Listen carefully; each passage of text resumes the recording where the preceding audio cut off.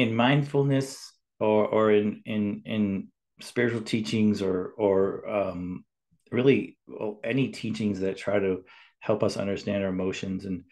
and thoughts uh, the term ego is used and it's not and i don't use the term ego to mean you know i think i'm better than everybody or an arrogance which of course is a form of ego but it can be so many things and it can be insidious in its sort of deceptiveness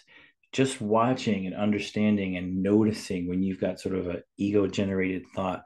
is so powerful. It's the key to kind of operating more mindfully which is tapping into your inner wisdom and clarity and calm is just noticing what that isn't noticing what the ego is doing. It could be it could be judgments it could be uh, preferences it could be frustration resentment jealousy it could be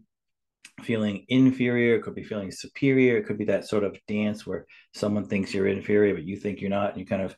trying to sort of impress uh, people. Uh, um, it's it's so many different things um, that all are sort of in that vein and just understanding that and watching that and realizing that that's not something you can control. That's normal human behavior but there's a way to sort of tap into something more more uh, deeper more powerful that wisdom clarity and calm that's inside